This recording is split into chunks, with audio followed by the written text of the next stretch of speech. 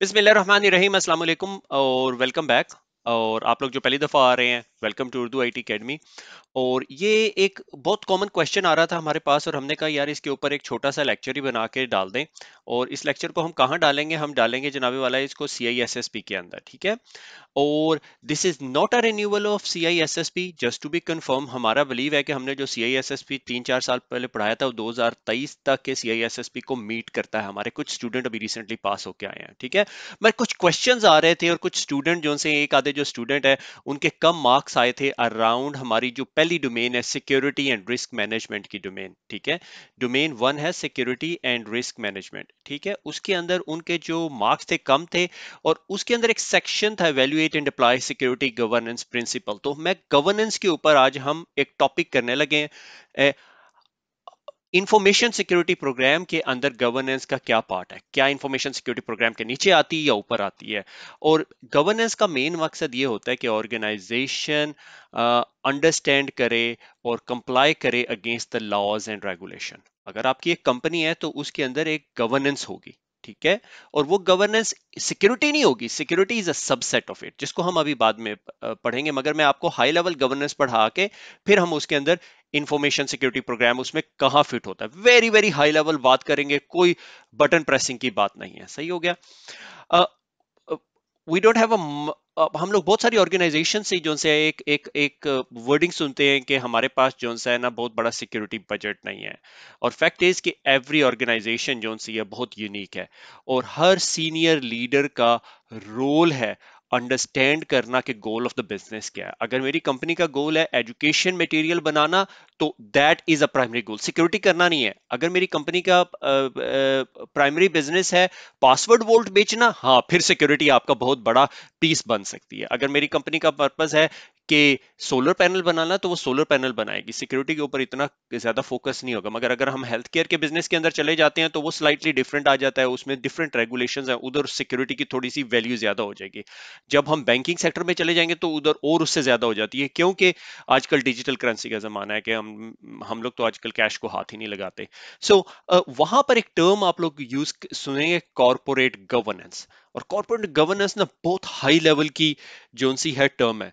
ये it's nothing to do with information security governance information security governance इस governance जो corporate governance है उसके अंदर बैठती है।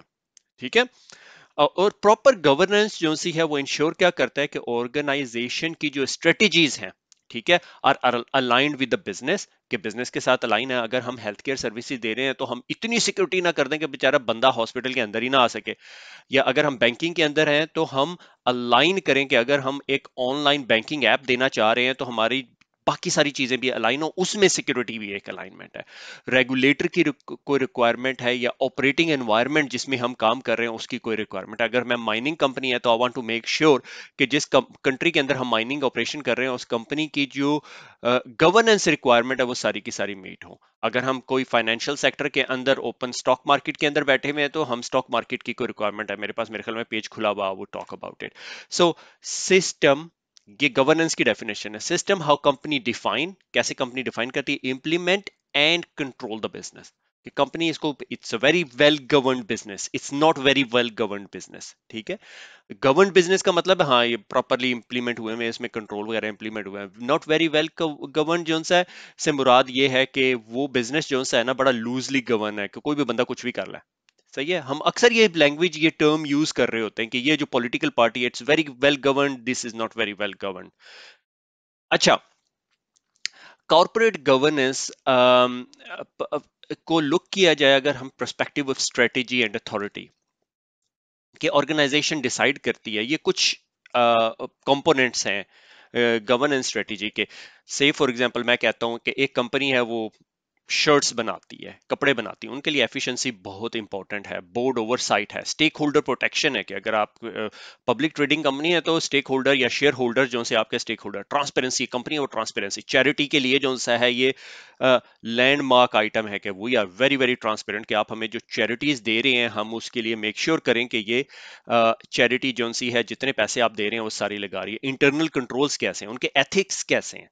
एथिक्स के अंदर आपकी सीएसआर भी आ जाती है कॉर्पोरेट सोशल रिस्पॉन्सिबिलिटी सी हम उसे कहते हैं कॉर्पोरेट सोशल रिस्पॉन्सिबिलिटी अगर एक कंपनी है वो ज़मीन से पानी निकाल रही है आ, मैं ब्रांड के नेम दिए बगैर तो वो इस तरह पानी निकाले कि टू मेक श्योर कि हमारा जो पानी का लेवल है वो ज़मीन में वो इतना डैमेजिंग ना हो. वो सीएसआर है that allows business larger and smaller to enact a positive change, आप ये कह सकते हो कि एक छोटे और बड़े बिज़नेस पॉजिटिव चेंज की तरफ़ जा रहे हैं। हम अगर से फॉर एग्जांपल मोबाइल बना रहे हैं तो हम मेक श्योर sure कर रहे हैं कि मोबाइल को एक पॉजिटिव इम्पैक्ट भी हो, ठीक है? उसमें रिसाइकलिंग भी हो सकती है, ठीक है?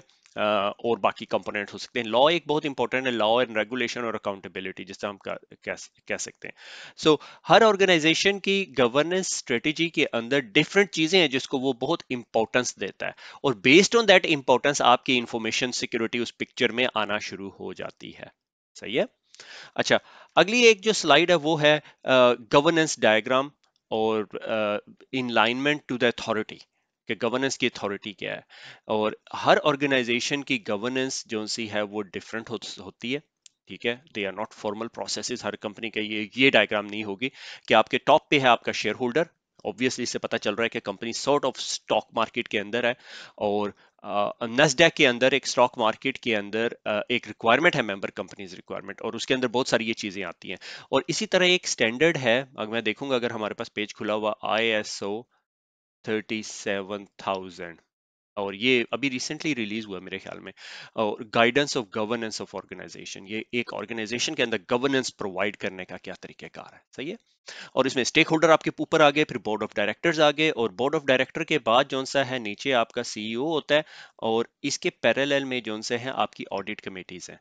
ऑडिट कमेटी और स्टेयरिंग कमेटीज है। ऑडिट कमेटी बहुत इंडिपेंडेंट काम करती है। स्टेयरिंग कमेटी भी बहुत इंडिपेंडेंट काम करती है। और सीईओ e के नीचे depending of your on your organisation आपका आपका सीआईओ आ जाता है आप, आपका सीआईओ आ जाता है operation officer financial CPO CISO और बहुत ज़्यादा ऑर्गेनाइजेशन में सीआईओ के नीचे होता है या कहीं कहीं मैंने सीएफओ के नीचे देखा है कहीं मैंने लीगल के नीचे भी देखा और कहीं इंडिपेंडेंट भी है।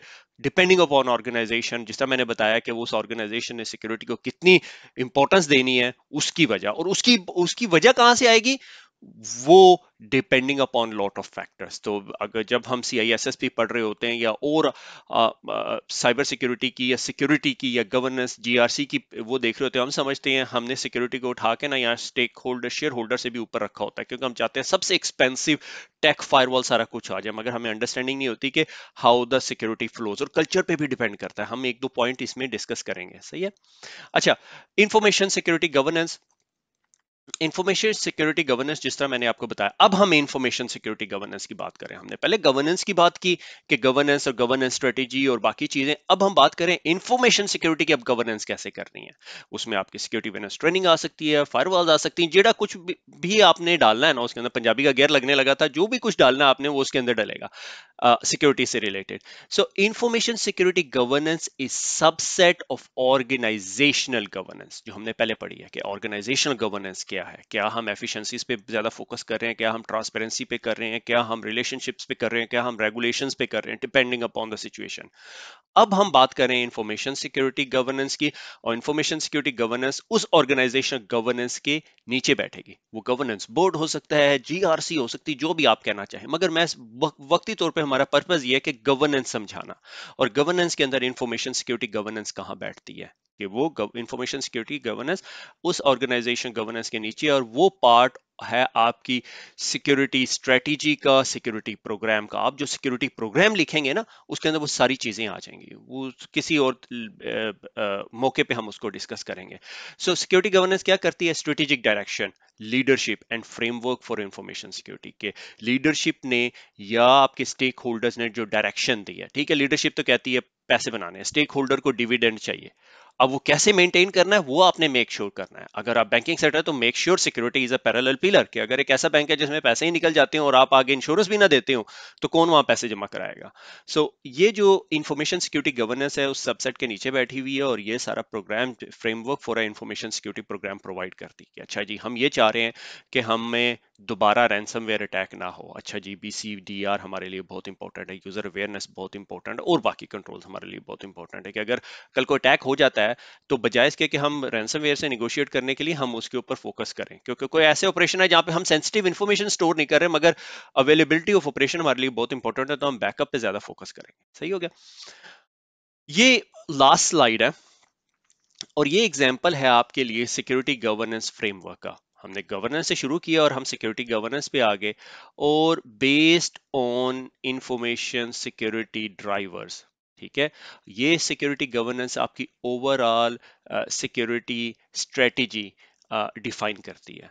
और उसके अंदर आपके बहुत सारे फैक्टर्स हो सकते हैं। तो मैं जो सा दो इंपॉर्टेंट फैक्टर्स की बात करूँगा, एक इंटरनल और एक एक्सटर्नल एक्सटर्नल फैक्टर्स से शुरू करते हैं। एक्सटर्नल फैक्टर से ये है कि आपके रेगुलेटर है, आप हिपा कंप्लायंस तो नहीं है सॉक्स तो नहीं है, आपकी इंडस्ट्री प्रैक्टिस क्या है, आपको पीसीआई डीएसएस तो नहीं चाहिए।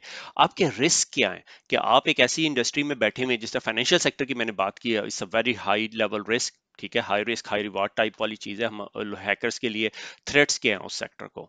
और उसके बाद आ जाते हैं इंटरनल ड्राइवर्स और इंटरनल ड्राइवर्स में आपकी लीडरशिप की अंडरस्टैंडिंग क्या है सिक्योरिटी के? क्या वो सिक्योरिटी को समझते हैं? ये कीबोर्ड माउस वाले लोग हैं जिन्होंने कीबोर्ड माउस ठीक करना है या वो उसे और बेहतर तरीके से करते हैं? मैनेजमेंट का स्ट्रक्चर क्या आपका सीसो कहाँ पे सिट कर रहा है? और हिस्ट्री ऑफ़ लेसन लर्न अगर एक कंपनी है जिसमें रैंसमवेयर अटैक ऑलरेडी हुआ हुआ है तो उसके बोर्ड को बहुत ज़्यादा अवेयरनेस होगी। सही हो गया। अच्छा उसके बाद सिक्योरिटी स्ट्रेटेजीज के नीचे जो सा है policies and procedure enterprise architecture ये मैंने सिक्योरिटी स्ट्रेटेजी डुप्लीकेट क्यों कर दी है, मुझे नहीं पता। और उसके बाद इंप्लीमेंटेशन के अंदर आपके पास सिक्योरिटी ऑपरेशंस आ जाता है, ठीक है? और सिक्योरिटी प्रोजेक्ट्स आ जाते हैं कंप्लायंस आ जाता है auditing on continual improvement lesson learn हुआ, जो भी सारा कुछ हुआ। अच्छा इस लेक्चर को बस यहीं पे मैंने स्टॉप करना है। आई होप यहाँ पर आपको गवर्नेंस की बहुत डिटेल में समझ आ गई होगी कि गवर्नेंस एक हाई लेवल ऑर्गेनाइजेशन क्या चाहती है विजिबिलिटी हो उन्हें और वो किस चीज़ को इंपॉर्टेंस देते हैं और उसके बाद नीचे सिक्योरिटी इंफॉर्मेशन सिक्योरिटी प्रोग्राम कह लो या जो भी उसे कहना है इंफॉर्मेशन सिक्योरिटी गवर्नेंस कह लो, वो उसके नीचे बैठेगी और उसके अंदर फिर डिफरेंट स्ट्रेटेजीज होंगी प्रोजेक्ट्स होंगे, एक गवर्नेंस पॉइंट ऑफ़ व्यू होगी और एक इंप्लीमेंटेशन पॉइंट ऑफ़ व्यू होगा। इसको खत्म करने से पहले ना मैं आपको क्विकली ये नेस्डैक का गवर्नेंस कॉर्पोरेट गवर्नेंस रिक्वायरमेंट है और उसके अंदर बड़ी डिटेल दी हुई है, ठीक है? बोर्ड ऑफ़ डायरेक्टर्स की कमेटी क्या होनी चाहिए? डेफिनेशन ऑफ़ इंडिपेंडेंस की वो जो बंदा स्टेयरिंग कमेटी या वो जो ऑडिटिंग कमेटी है, वो इंडिपेंडेंट बैठनी चाहिए। अगर वो आपकी गवर्नेंस का ऑडिट करे तो वो ये बताएगी कि आपको ये कुछ करना चाहिए। मेजोरिटी ऑफ़ इंडिपेंडेंट बोर्ड क्या होना चाहिए, ठीक है? ऑडिट कमेटी जो आपकी है, जो आपको ऑडिट करेगी, वो इंडिपेंडेंट कैसे हो सकती है? और ये आपका जो I S O thirty seven thousand document is very very interesting document मेरे ख्याल में आपको बाय करना पड़ेगा। मगर उस डॉक्यूमेंट के अंदर ना कुछ वैल्यूज़ आप देख सकते हैं कि स्टेक होल्डर रिलायबिलिटी स्कोप और इसके अंदर ना एक डायग्राम बहुत अच्छी है, ठीक है? कि आपकी पर्पज़ ठीक है? गवर्नेंस ऑफ़ एन ऑर्गेनाइजेशन का पर्पज़ क्या है? ठीक है? वो बेस्ड ऑन दैट स्ट्रेटेजी और उसके again value generation strategy accountability oversight और फिर स्टेक होल्डर मैनेजमेंट लीडरशिप और बाकी चीज़ें और फिर गवर्नेंस uh, आउटकम uh, क्या है? और ये would give you very good insight और coming back to the exam exam point अगर कोई एग्ज़ाम के पॉइंट ऑफ़ व्यू से समझना चाह रहा है सिक्योरिटी एंड रिस्क मैनेजमेंट का ये टॉपिक है, और सिक्योरिटी एंड रिस्क मैनेजमेंट के अंदर evaluate and apply security governance principle so ये, मैंने ये 1.3 नहीं पढ़ाया, मैंने सिर्फ़ just wanted to make sure कि आपको गवर्नेंस की अंडरस्टैंडिंग हो जाए, ठीक है? खुश रहें दुआ में याद रखिएगा, फिर कभी मुलाकात होगी, अल्लाह हाफिज।